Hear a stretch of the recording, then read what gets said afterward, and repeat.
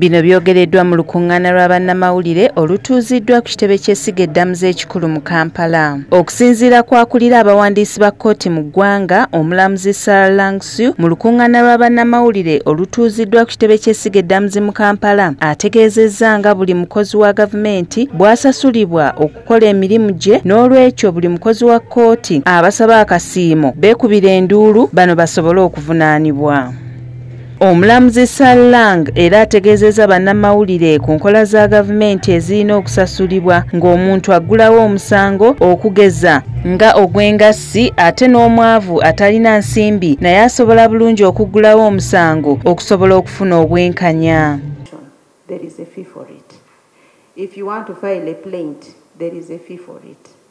And for example, if you have a land matter, you're filing a plaint. The one who will file the plaint where the subject matter is say 20 million will not pay the same amount of money with somebody whose property, for example, is 100 million. Those fees are assessed according to the value of the subject matter that you have filed. Mu lukuŋŋaana lwa bannamawulire lwe lumu essiga eddamuzi mwe lyanjulidde omwogezi w'essiga lino omujja james jul eremye mawanda ng'ono addidde mu bigere abadde omwogezi w'essiga lino jameson kaleman eyaweereddwa omulimu gw'obulamuzi ekiboga omulamuzi kaleman yeebazizza bannamawulire olw'enkolagana ennungi ebaddewo wakati w'essiga eddamuzi wamu nabo bw'atyo n'abakuutira okwongera okunyweza enkolagana eno n'amuddidde mu bigere. You have supported judiciary in many ways during the time I have worked with you because, like we always say, you are our voice in areas where we don't reach, and you have done that very well. Now, I would like to appeal to you. I am leaving you in safe hands because the person that we are unveiling today uh, has been carefully selected and we have high hopes in him.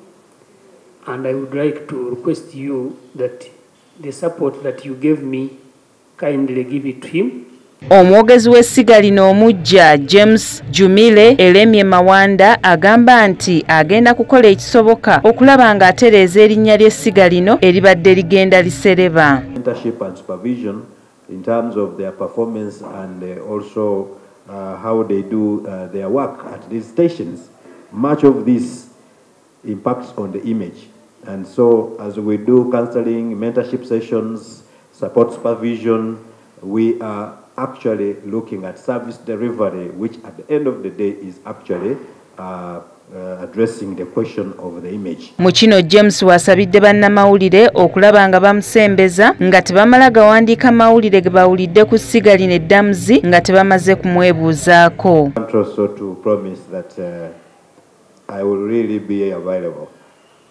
And in situations where I have been unreachable, I will always try to get back uh, such that we are on the same page. bw'ati era akakasizza bannamawulire ng'essiga eddamuzi bwe ligenda okwongera okukolagana nabo mu buli ngeri zonna.